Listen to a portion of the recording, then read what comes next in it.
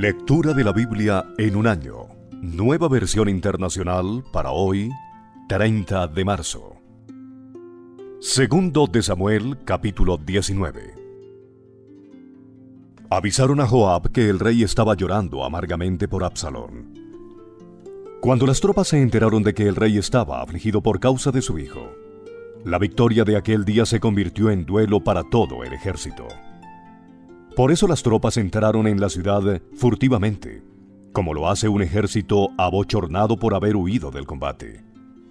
Pero el rey, cubriéndose la cara, seguía gritando a voz en cuello. ¡Ay, Absalón, hijo mío! ¡Ay, Absalón, hijo mío, hijo mío!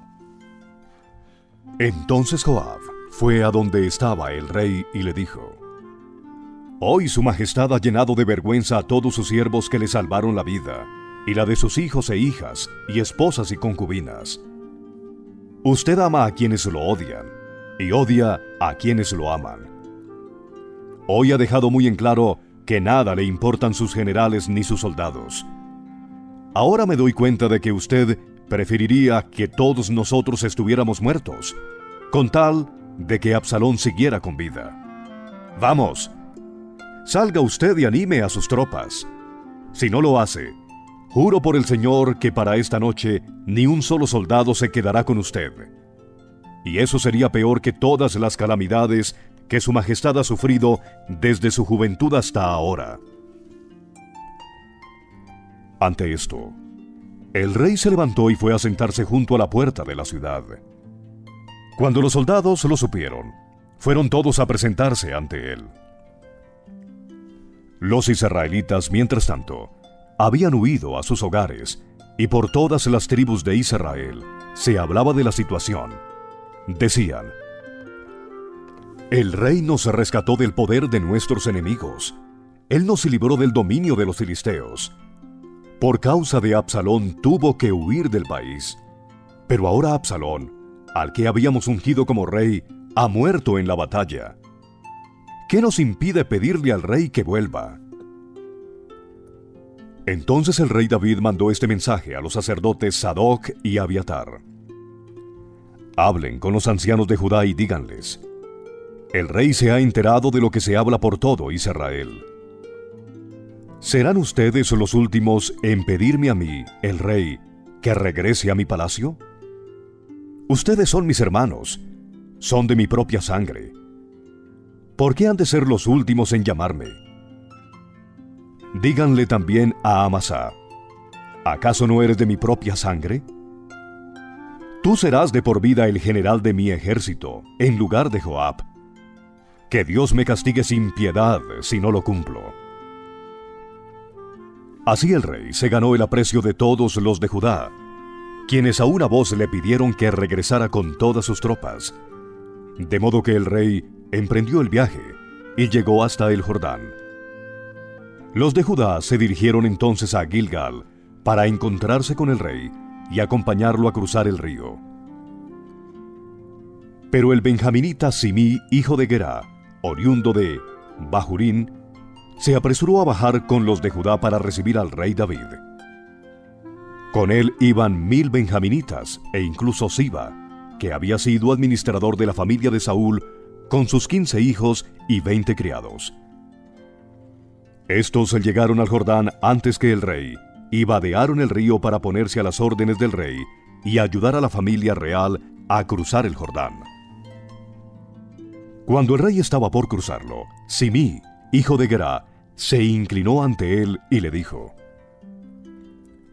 Ruego a mi señor el rey que no tome en cuenta mi delito, ni recuerde el mal que hizo este servidor suyo el día en que Su Majestad salió de Jerusalén.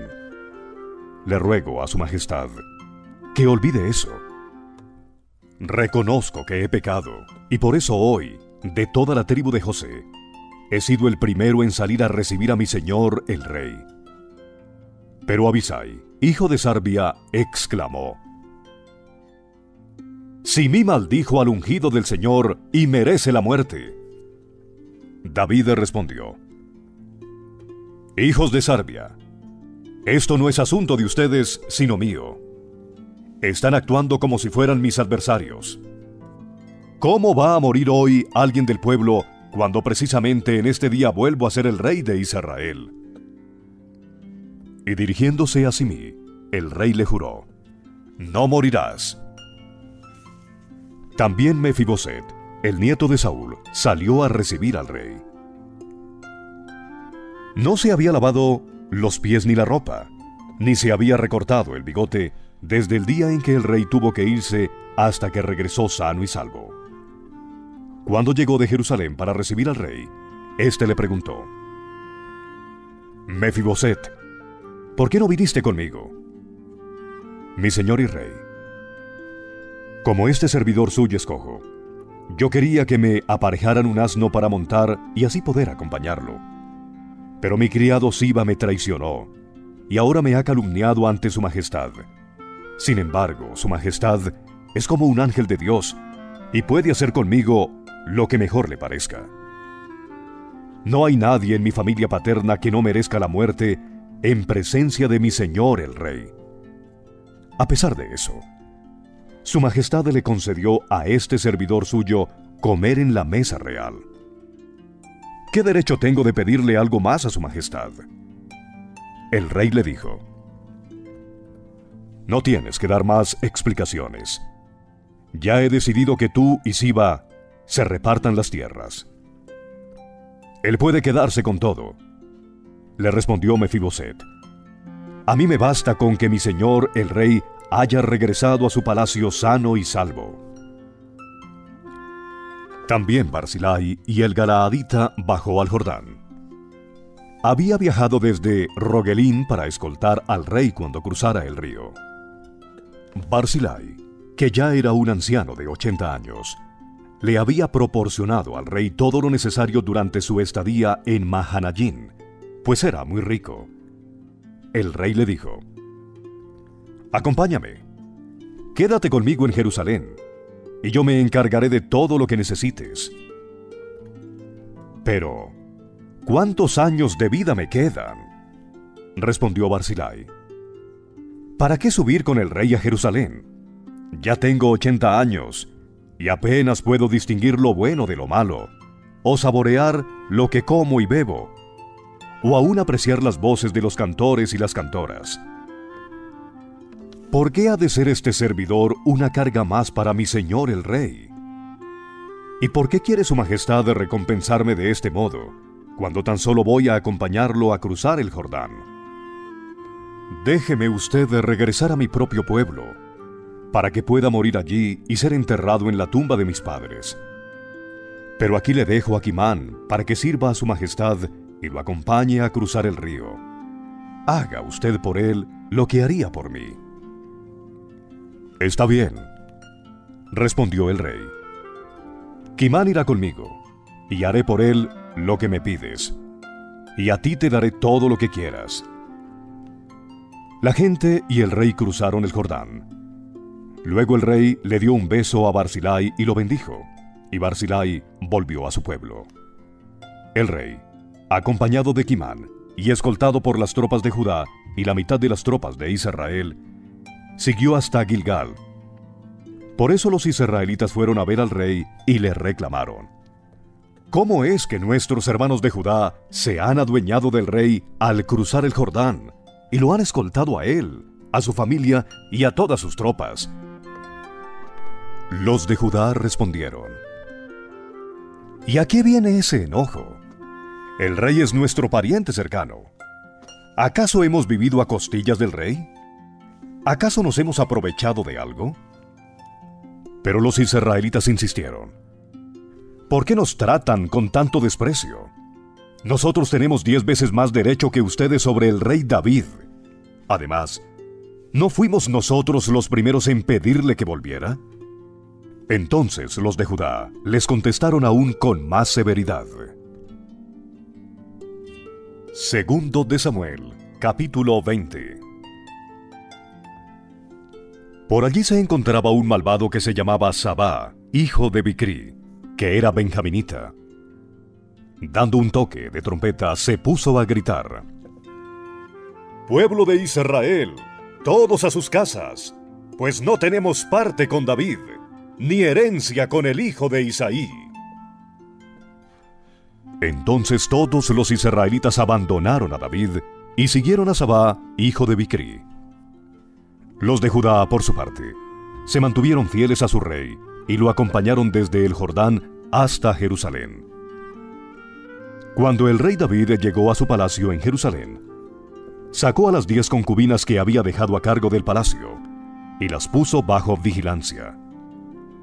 Siguió manteniéndolas, pero no volvió a acostarse con ellas. Hasta el día de su muerte quedaron encerradas y viviendo como si fueran viudas. Luego el rey le ordenó a Amasá, Moviliza a las tropas de Judá y preséntate aquí con ellas dentro de tres días. Amasá salió para movilizar a las tropas, pero no cumplió con el plazo. Por eso David le dijo a Abisai, Ahora Sabá, hijo de Bicri, va a perjudicarnos más que Absalón. Así que hazte cargo de la guardia real y sal a perseguirlo, no sea que llegue a alguna ciudad fortificada y se nos escape.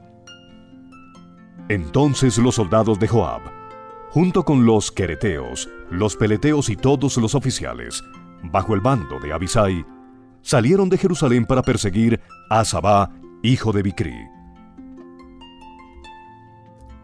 Al llegar a la gran roca que está en Gabaón, Amasá le salió al encuentro. Joab tenía su uniforme ajustado con un cinturón y ceñido al muslo llevaba una daga envainada. Pero al caminar, la daga se le cayó. Con la mano derecha, Joab tomó a Amasa por la barba para besarlo mientras se le preguntaba, ¿Cómo estás, hermano? Amasá no se percató de que en la otra mano Joab llevaba la daga. Así que Joab se la clavó en el vientre, y las entrañas de Amasá se derramaron por el suelo. Amasá murió de una sola puñalada, y luego Joab y su hermano Abisai persiguieron a Sabá, hijo de Bicri. Uno de los soldados de Joab deteniéndose junto al cuerpo de Amasá, exclamó, Todos los que estén a favor de Joab y que apoyen a David, sigan a Joab. Como el cuerpo de Amasá, bañado en sangre, había quedado en medio del camino, todas las tropas que pasaban se detenían para verlo. Cuando aquel soldado se dio cuenta de esto, retiró el cuerpo hacia el campo y lo cubrió con un manto. Luego de que Amasa fue apartado del camino, todas las tropas fueron con Joab a perseguir a Sabá, hijo de Bicri. Sabá recorrió todas las tribus de Israel hasta llegar a Abel bet y allí todos los del clan de Bicri se le unieron. Las tropas de Joab llegaron a la ciudad de Abel bet y la sitiaron construyeron una rampa contra la fortificación para atacar la ciudad. Y cuando los soldados comenzaron a derribar la muralla, una astuta mujer de la ciudad les gritó, Escúchenme, escúchenme. Díganle a Joab que venga acá para que yo pueda hablar con él. Joab se le acercó. ¿Es usted de Joab? Le preguntó la mujer. Así es, entonces la mujer le dijo, Ponga atención a las palabras de esta servidora suya. Te escucho, respondió Joab. Ella continuó. Antiguamente, cuando había alguna discusión, la gente resolvía el asunto con este dicho. Vayan y pregunten en Abel. Nuestra ciudad es la más pacífica y fiel del país y muy importante en Israel. Usted, sin embargo, intenta arrasarla. ¿Por qué quiere destruir la heredad del Señor? Que Dios me libre, replicó Joab. Que Dios me libre de arrasarla y destruirla. Yo no he venido a eso, sino a capturar a un hombre llamado Sabá, hijo de Bicri. Es de la sierra de Efraín y se ha sublevado contra el rey David. Si me entregan a ese hombre, me retiro de la ciudad Muy bien, respondió la mujer. Desde la muralla arrojaremos su cabeza. Y fue tal la astucia con que la mujer habló con todo el pueblo, que le cortaron la cabeza a Sabá, hijo de Bicri, y se la arrojaron a Joab. Entonces Joab hizo tocar la trompeta, y todos los soldados se retiraron de la ciudad y regresaron a sus casas. Joab, por su parte, volvió a Jerusalén para ver al rey. Joab era general en jefe del ejército de Israel. Benaías, hijo de Joyadá, estaba al mando de los quereteos y los peleteos. Adonirán supervisaba el trabajo forzado. Josafat, hijo de Ahilud, era el secretario. Seba era el cronista. Sadoc y Abiatar eran los sacerdotes. Ira, el Yairita, era sacerdote personal de David. Segundo de Samuel capítulo 21 Durante el reinado de David, hubo tres años consecutivos de hambre. David le pidió ayuda al Señor y él le contestó. Esto sucede porque Saúl y su sanguinaria familia asesinaron a los Gabaonitas. Los Gabaonitas no pertenecían a la nación de Israel, sino que eran un remanente de los amorreos. Los israelitas habían hecho un pacto con ellos pero tanto era el celo de Saúl por Israel y Judá, que trató de exterminarlos. Entonces David convocó a los Gabaonitas y les preguntó, ¿Qué quieren que haga por ustedes? ¿Cómo puedo reparar el mal que se les ha hecho? De modo que bendigan al pueblo que es herencia del Señor. Los Gabaonitas respondieron, No nos interesa el dinero de Saúl y de su familia ni tampoco queremos que muera alguien en Israel. Entonces, ¿qué desean que haga por ustedes? Volvió a preguntar el rey. Saúl quiso destruirnos, contestaron ellos. Se propuso exterminarnos y nos expulsó de todo el territorio israelita. Por eso pedimos que se nos entregue siete de los descendientes de Saúl, a quien el Señor escogió para colgarlos en presencia del Señor en Gibeá de Saúl. Se los entregaré, les prometió el rey. Sin embargo, por el juramento que David y Jonatán se habían hecho en presencia del Señor, el rey tuvo compasión de Mefiboset, que era hijo de Jonatán y nieto de Saúl.